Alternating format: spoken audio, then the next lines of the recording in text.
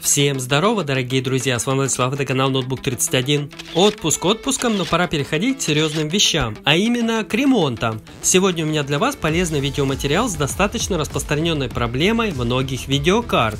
А поэтому встречайте!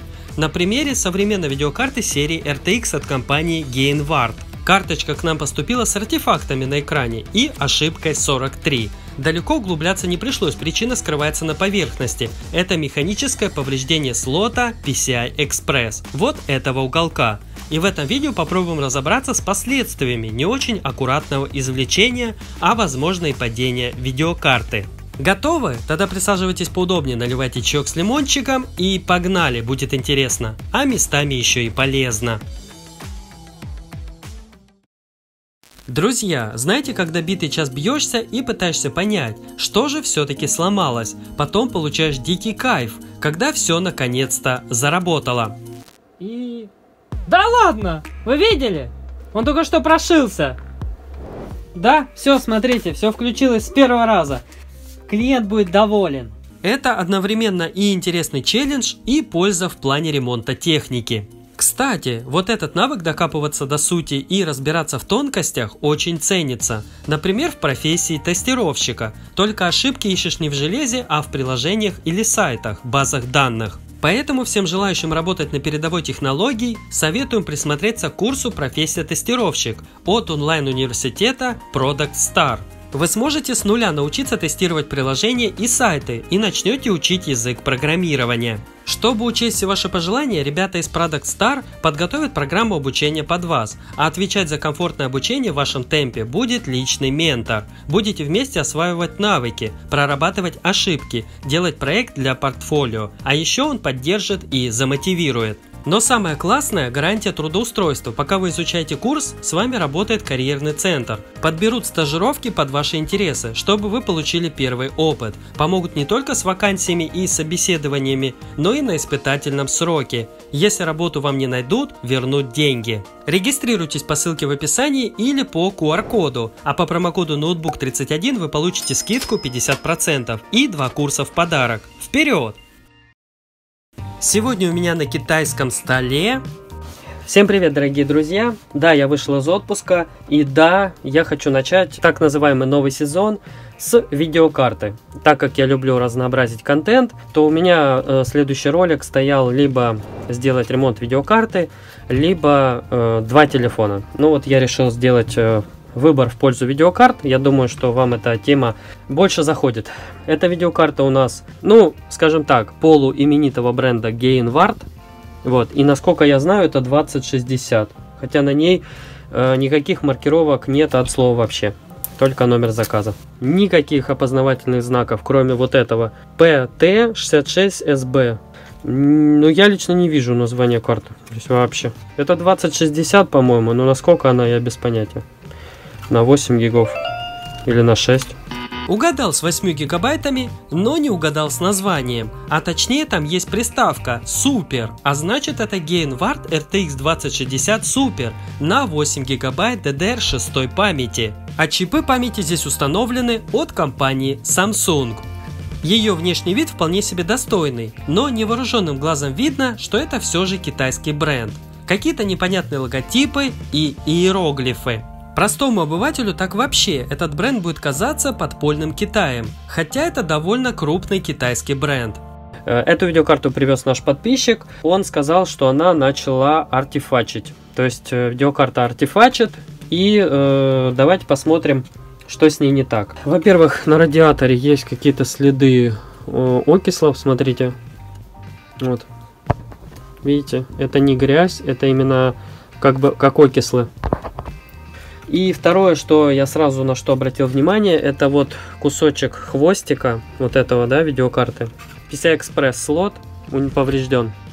Видите, немножко поврежден, и это сразу же бросается в глаза, и я не могу этого не отметить. Тут хочется отметить тот факт, что подписчик на этот счет ничего не сказал. Я это заметил при визуальном осмотре непосредственно на камеру. Давайте зафиксируем дефект, а для этого перехожу к своему тестовому стенду. Подключаю эту RTX 2060 через Riser. И не забываю подсоединить дополнительное питание и HDMI кабель. Давайте попробуем включить и посмотреть, действительно ли она артефачит.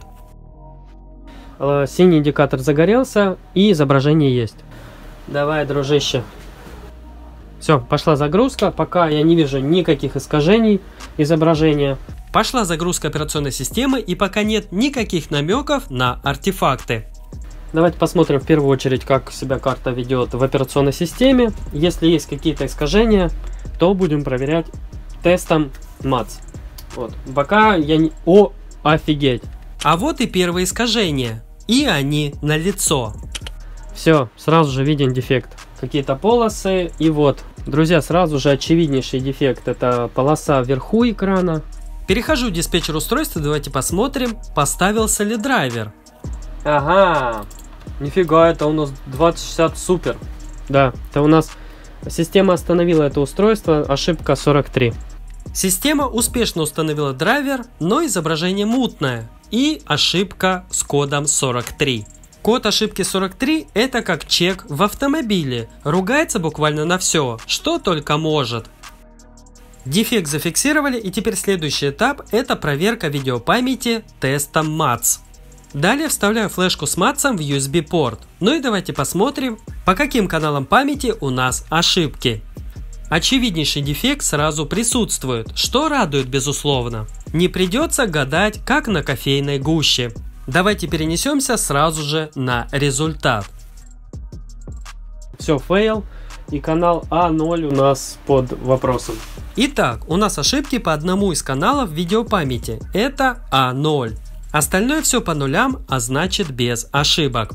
Дефект зафиксировали, давайте теперь приступим к разборке.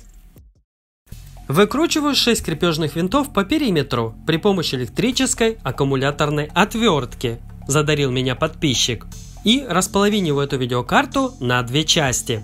Делаю я это в последнее время исключительно руками. Ну и давайте посмотрим, что же там внутри. Так, ну что, смотрите, термопрокладки все качественные, термопаста уже давненько не менялась. На дермосах тоже хорошее охлаждение. В общем, претензий к охладу нет, кроме, кроме вот этих потеков. То есть э, небольшой окисел радиатора. На этом все. Так, здесь что у нас? Много пыли.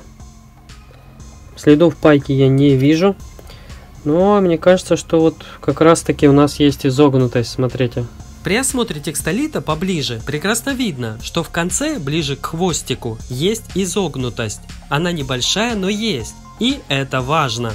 Скорее всего, именно из-за этого крайняя банка и пострадала.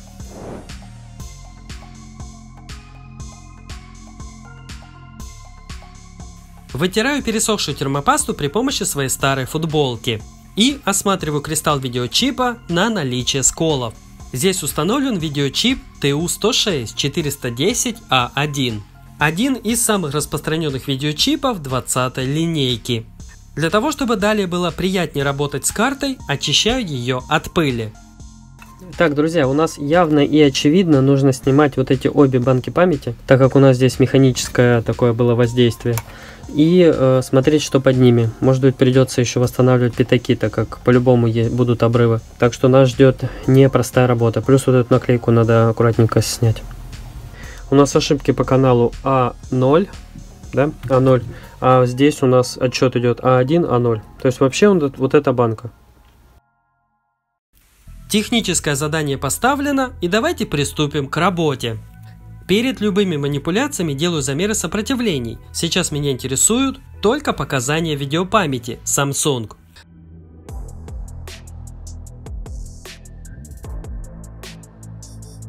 И восемь Ома, что является адекватным сопротивлением видеопамяти. Выпаивать видеопамять буду при помощи нагревателя от компании Thermopro, то есть нижнего подогрева. Низ выставляю 300 градусов и подогреваю карту. Далее при помощи термофена поддуваю на наклейку и аккуратненько ее отклеиваю. В основном я это делаю металлической тупой лопаткой. Готово, наклейка снята без повреждения. Теперь дело за съемом или демонтажом банки видеопамяти под позицией А0. Но я же прекрасно понимаю, что и соседняя банка могла пострадать, а поэтому мои мысли сейчас борются друг с другом. Снимать вторую или нет?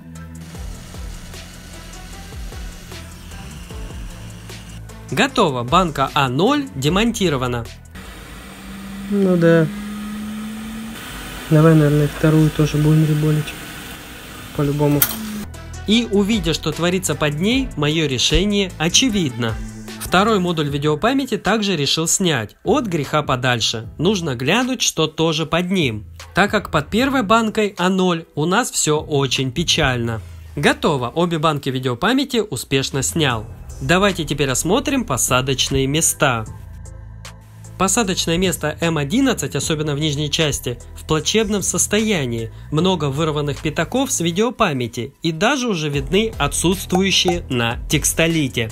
Под банкой М12 все лучше, но явно, что мы этот модуль демонтировали не зря.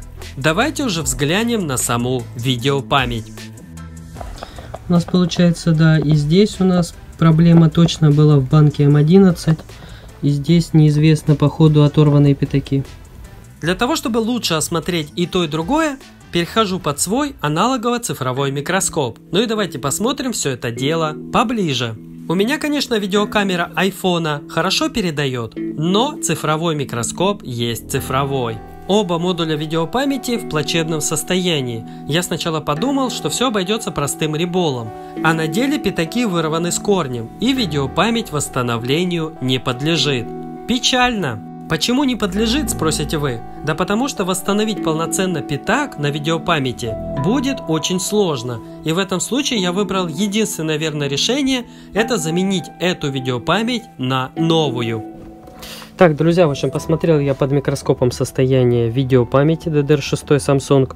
И у нас одна банка в хламе, вот, не зря я ее снял. Вторая, скорее всего, тоже под замену, так как есть несколько оторванных пятаков. На вторую банку э, тест сильно не ругался, видимо, она будет задействована, ну, когда будет нагрузка. И эта проблема бы выскочила в любом случае. Поэтому эти два модуля памяти необходимо было демонтировать, я буду их менять. Давайте теперь посмотрим на состояние текстолита, то есть посадочного места. В первую очередь осматриваю место под позицией М11. Здесь осталось множество пятаков, оторванных от видеопамяти. И пока не очевидно, есть ли оторванный от текстолита. А второе посадочное место чуть почище. Такое впечатление, что здесь все нормально. Хотя нет, при приближении уже пара оторванных пятаков под М11 виднеется. Вот, сейчас буду зачищать дорожки и смотреть, какие оторваны, какие нет. И в случае оторванного пятака придется восстанавливать. Далее наношу немного флюса INC 559 и убираю без свинцовый припой при помощи паяльника. После снятия основной массы припоя работаю медной оплеткой.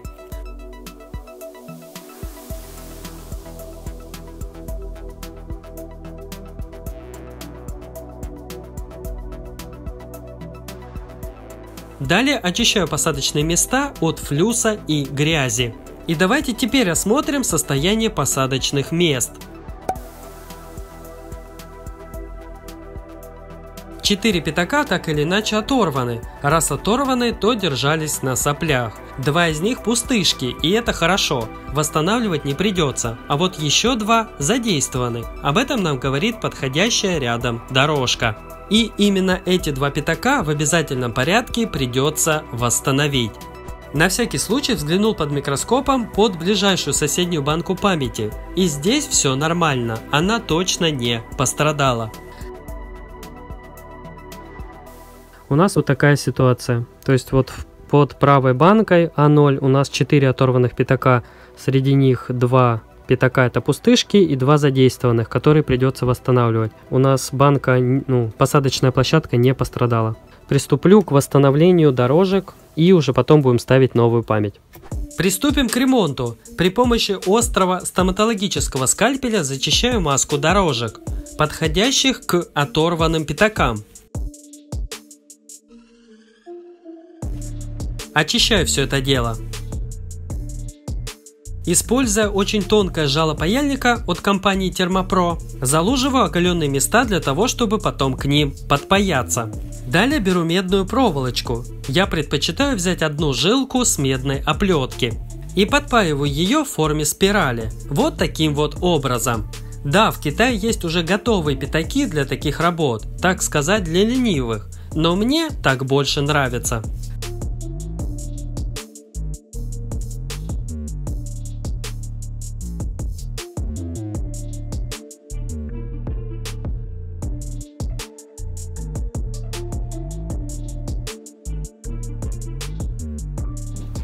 Так, в общем-то, все. Восстановил я оба пятака. Закрученные такие две спиральки. Очень мелко все, но реально. Все. Можно восстанавливать лаком для ультрафиолета и можно припаивать назад панку. Следующим делом ультрафиолетовым лаком пайку нужно закрепить.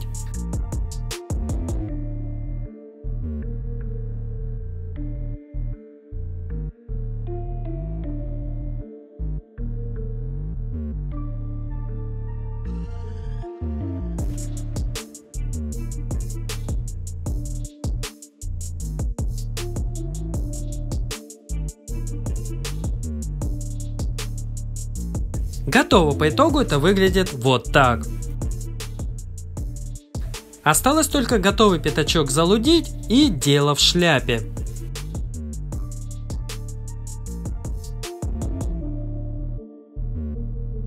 Все, готовые места восстановлены и теперь можно устанавливать новую видеопамять. Новая видеопамять от компании Samsung у меня, конечно же, есть в наличии. Кто бы что ни говорил, но пока за все время ни одного возврата или каких-либо проблем с памятью не было. Майнеры клиенты не дадут соврать. Далее наношу немного безотмывочного флюса, Flux Plus. И устанавливаю два новых модуля видеопамяти на свои новые места. Тем же термопрофилем запаиваю. Низ 300 градусов, верх 330-350.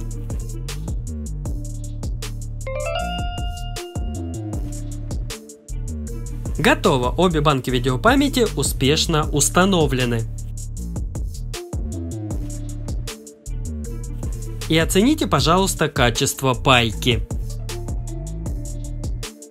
Отмываю все это дело от флюса, ну и давайте проверять. Но в первую очередь необходимо замерить сопротивление и убедиться, что новая видеопамять у нас не в КЗ, то есть под ней нет слипшихся пятаков. Сопротивление видеопамяти в пределах нормы. Отлично!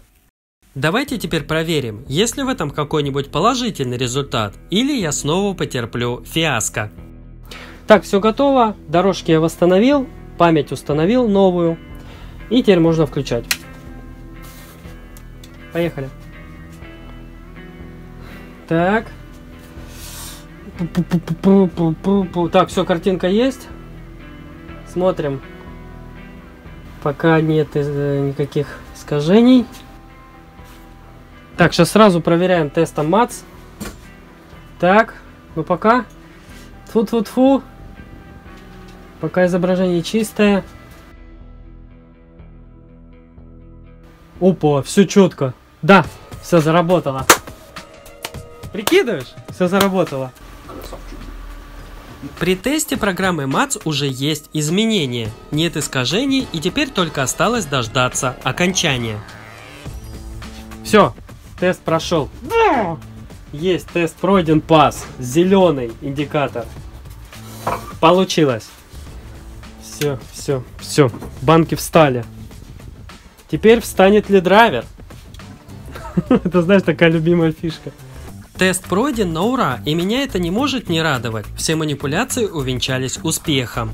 А тем, кто желает мне сменить профессию или перестать заниматься ремонтом видеокарт, идите лесом полем. Я сам решаю, чем я буду заниматься. А тем, кто поддерживает, выражаю глубокий респект. И дальше обещаю вас радовать интересным и полезным контентом, в том числе игровых ноутбуков, телефонов, планшетов и прочей техники. А у меня остались мелочи. Это нанести новенькую термопасту на кристалл ГПУ. наподобие MX4 и аккуратными ровными движениями по кристаллу размазать. Термопрокладки в хорошем состоянии, я их просто вытираю от пыли. Собираю видеокарту в обратной разборке последовательности. Ну и давайте проверять ее полноценно. Подключаю видеокарту RTX 2060 от Gainward к своему тестовому стенду. Первый тест Superposition нагружает видеопамять.